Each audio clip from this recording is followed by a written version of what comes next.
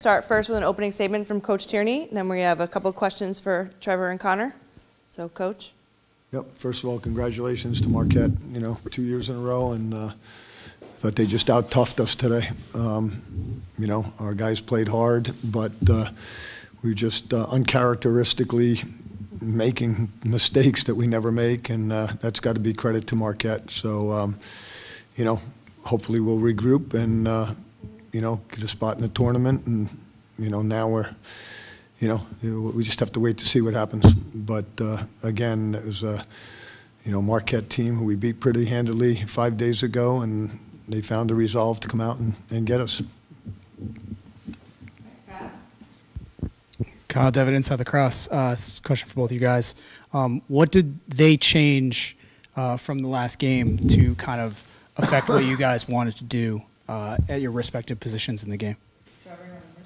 Um, yeah, uh, I felt like much tougher on the wings. Felt like they really uh, went after ground balls. Um, Zach, credit to Zach. He's a great face-off guy.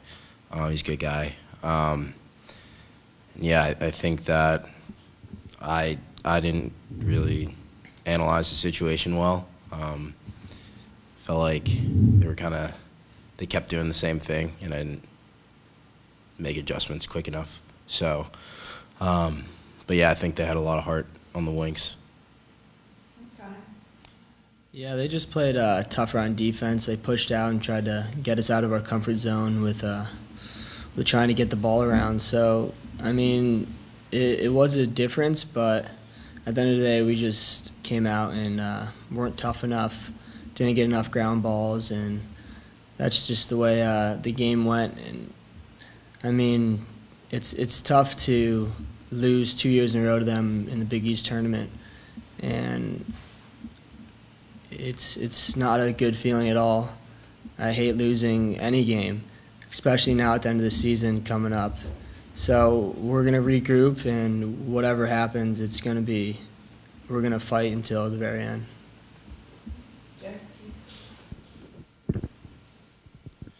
Connor, being one of the older guys on this team, did you have any words for your teammates following a tough loss like today?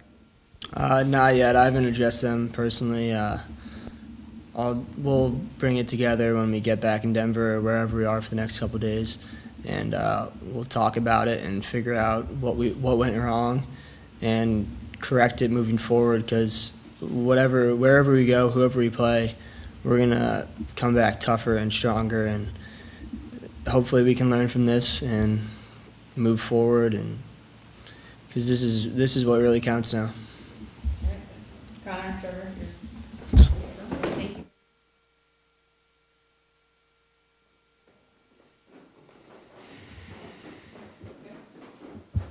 Coach? Okay. Uh, it seemed like you guys had a lot of uh, success attacking top down when you switched uh, in the sort of in the second quarter. Um, driving the alleys and hitting cross passes. Uh, is that something that you know you you went in as like a, a, plan B that was working that wasn't the rest of the your kind of spread offense wasn't producing, or is is that just something that That's you adjusted kind of what to? we do. You know, our our, our offense is based on dodging hard and ball movement, and we, we were again uncharacteristically not doing that today. Um, and again, you know, obviously it's during the game you're trying to what went wrong, what went wrong, well, what's going wrong, but, it, you know, again, it has to do with what Marquette did, they kind of fake sliding a little bit and driving us to a weak hand. We, we've seen all these things a thousand times before, you know.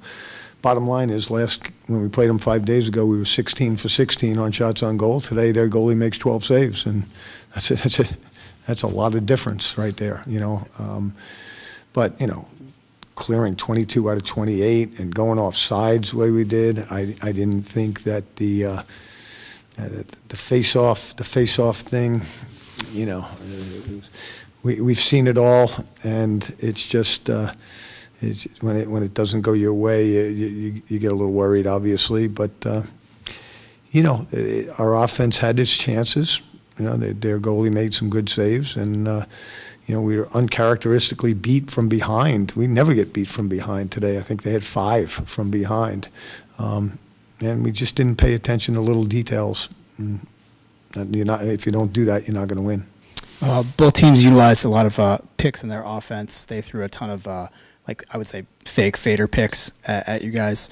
Um, what was kind of your, the message to the defense, like in between the breaks, to, to Well, kind I thought we that? handled theirs pretty well until that last one at the end, you know? We, we get back to eight to eight, and I thought we were, uh, I thought we were, despite not playing well, I thought we were going to be okay at that point. Um, And then, uh, you know, number 77, to his credit, you know, backdoors us for a cut that we talked about for the last two days in practice, for today before the game, today at halftime, and, you know, guys fell asleep. And, uh, and when you fall asleep against a team that kind of shops the way they do, they don't dodge, they just kind of roll back and they're looking, looking, looking, and, and when you do that, um, you know, you- you're going to get, they're going to get layups, and, and they did, and they, they canned them. And we didn't, you know, we had three or four shots on the crease that, that they had, and they canned theirs, and we didn't ours.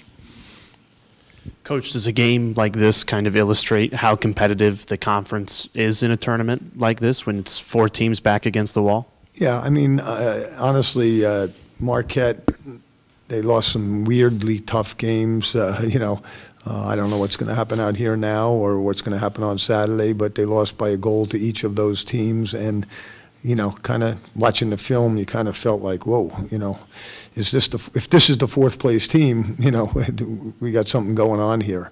Um, and, and to, the- to, you know, to Chris's credit here at, at Providence, he's done a great job with this program, and they might have run out of a little steam at the end there, but they, they were, they, they represented us really well.